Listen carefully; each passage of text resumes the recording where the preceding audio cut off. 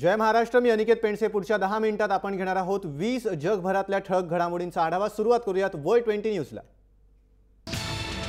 प्रसिद्ध British pop singer George Michael यांचं त्रेपन्नाव्या वर्षी हृदयविकाराच्या झटक्यानं निधन झालं. इंग्लंड गोरिंगमधल्या राहत्या घरी त्यांनी अखेरचा श्वास घेतला. मायकल यांची एक गायक म्हणून यशस्वी कारकीर्द होती. त्याचबरोबर ते अनेक वादातही अडकले होते.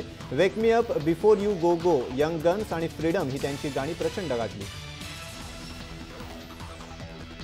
अध्यक्षपदाची सूत्र स्वीकारण्याच्या आधी मी डोनाल्ड ट्रम्प फाउंडेशन बरखास्त करणार असल्याची माहिती अध्यक्ष डोनाल्ड ट्रम्प यांनी दिली आहे. पुढच्या महिन्यात ट्रम्प अध्यक्षपदाची सूत्र हाती घेतील त्यामुळे अध्यक्षपद आणि फाउंडेशन यांच्या हितसंबंधात काही अडथळे येऊ नयेत यासाठी ते बरखास्त करेन असं ट्रम्प यांनी म्हटलंय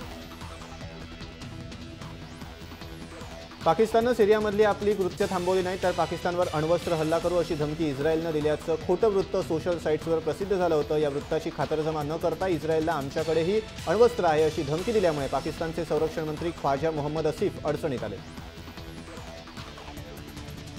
इस्रायल आणि अमेरिकेमध्ये तणाव वाढत असलेला दिसतोय. इस्रायलच्या पंतप्रधान बेंजामिन नेतान्याहूंनी अमेरिकेच्या अँबॅसिडरला आहे नेतान्याहू हे पंतप्रधान सोबतच इस्रायलचे विदेश मंत्रीही आहेत आणि त्यांनी अनपेक्षितपणे अमेरिकेच्या दान शापियरला अँबॅसिडर म्हणून आपल्या कार्यालयात बोलावलं युद्धबंदीच्या कराराचं पाकिस्तानकडून वारंवार उल्लंघन होत असल्यानं दोन्ही देशातील संबंध ताणले गेले असतानाच पाकिस्ताननं आपल्या ताब्यातील दोनशे वीस भारतीय मच्छीमारांची सुटका केली आहे. पाकिस्तानच्या सागरी हद्दीत प्रवेश केल्याच्या आरोपावरून या मच्छीमारांना पाकिस्ताननं अटक केली होती. या मच्छीमारांना कराची इथे मालीर तुरुंगात ठेवलं होतं. पाकिस्तानच्या गृहमंत्रालयानं सौहार्दतेच्या भावनेनं या मच्छीमारांना सोडण्याचा निर्णय घेतला असं त्या तुरुंगाच्या अधिकाऱ्यांनी सांगितलंय. रशियाचं लष्करी विमान सिरियाकडे जाताना काळ्या समुद्रात कोसळलं. त्या विमानामध्ये ब्याण्णव प्रवासी होते. त्यांच्या वाचण्याची शक्यता कमी असल्याची माहिती रशियाच्या वृत्तसंस्थांनी दिली. उड्डाण केल्यानंतर T U one five four या लष्करी विमानाच्या उड्डाणानंतर वीस मिनिटात बेपत्ता झालं होतं. मात्र अजून विमानातील लोकांची कोणतीही माहिती मिळालेली नाही आहे पूर्व अफगाणिस्तानमध्ये आतंकवादी हल्ल्यात तालिबानचा कमांडरचा मृत्यू झाला तर चार आतंकवादी जखमी झालेत. हा दहशतवादी हल्ला पूर्व नांगरहार प्रांतात झालाय. तर मृत पावलेल्या कमांडोचं नाव मुल्ला अब्दुल रहमान असं आहे. दक्षिण अमेरिकेतील चिली या देशाला शक्तिशाली भूकंपाचा धक्का बसला या भूकंपाची तीव्रता सात पूर्णांक सात इतकी होती. या भूकंपात जीवितहानीचं वृत्त नसलं तरी भूकंप केंद्रापासून एक हजार किलोमीटर परिसरात सुनामीचा इशारा देण्यात आलाय. दक्षिण चिलीमधल्या पोर्टोमॉन्ट इथे जमिनीपासून पंधरा किलोमीटर खोलीवर या भूकंपाचं केंद्र होतं. सिरियाच्या पूर्व अलेप्पोमध्ये रहिवासी घरी परतत असताना स्फोट झाला. स्थानिक वृत्तानुसार सिरियातल्या बंडखोर लोकांनी एका शाळेत विस्फोटक उपकरण सोडल्यानं स्फोट झालाय. जेव्हा स्फोट झाला तेव्हा धुळीचा एक मोठा फुगा फुटल्यासारखं जाणवलं अशी माहिती स्थानिकांनी दिली गेल्या एका आठवड्यापासून काँगोचे अध्यक्ष जोसेफ कबिला यांच्या अपयशाविरोधात आंदोलन सुरू आहे. या आंदोलनात सातशेपेक्षा जास्त लोक मारले गेले आहेत. तर शेवटच्या दिवशी बावीस लोक मृत्युमुखी पडले. दरम्यान या हल्ल्यासाठी काँगोच्या अधिकाऱ्यांनी डेमोक्रॅटिक फोर्सला जबाबदार ठरवलं.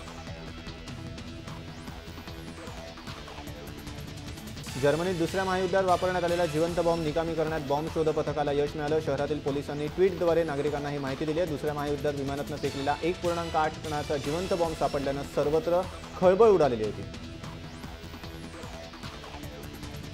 सिरियातल्या युद्धात आतापर्यंत तीन लाखांपेक्षा जास्त लोक ठार झालेत. या देशाची अर्धी लोकसंख्या निर्वासित झाली आहे. या युद्धात संपूर्ण देश बेचिराग झाला आहे. The Syrian observatory for human rights या ब्रिटन स्थित संस्थेनं ही माहिती दिली आहे. चीनमध्ये दोन हजार सोळाच्या पहिल्या नऊ महिन्यांपर्यंत अन्न सुरक्षा गैरव्यवहाराची पाच लाख घटना घडल्याचं समोर आलं या धातू मिश्रित तांदूळ हॉटेलमध्ये वापरण्यात येणारं दूषित तेल दोन हजार आठमध्ये औद्योगिक रसायनांचा समावेश लहान मुलांच्या खाद्यान्नात केला होता. पाकिस्तानचे संस्थापक मोहम्मद अली जिना यांच्या जयंतीनिमित्त तयार केलेल्या भाषणाची लेखी प्रत पाकिस्तानचे राष्ट्राध्यक्ष मनून हुसेन यांच्या कार्यालयानं चोरून दुसऱ्या व्यक्तीस दिली असा आरोप करणारी एक याचिका शालेय विद्यार्थ्यांना इस्लामाबाद उच्च न्यायालयात केली भारतात नोटा बनवण्यासाठी लागणाऱ्या कागदांचा पुरवठा करण्याचं काम जगातील आठ मोठ्या कंपन्यांना मिळालं या कंपन्या एप्रिल दोन हजार सतरापासून भारताला नोटांसाठी कागदाचा पुरवठा करतील.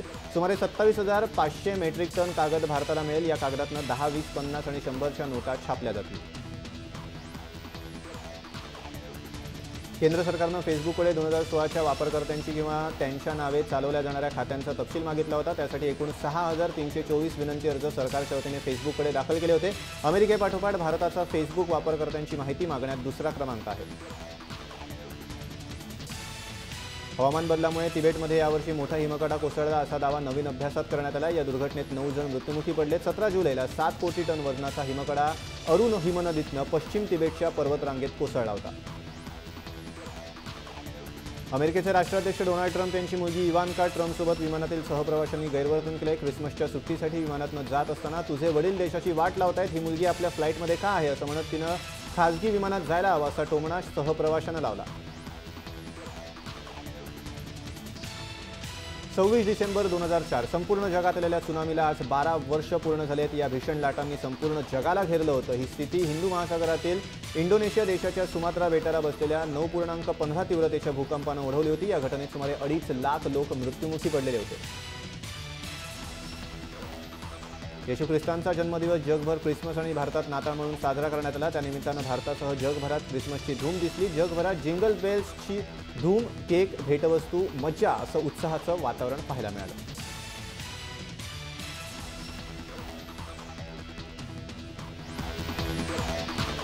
वर्ल्ड ट्वेंटी न्यूजमध्ये वेळ झाली इथेच थांबण्याची. ताज्या अपडेटसाठी तुम्ही पाहत राहा. जय महाराष्ट्र.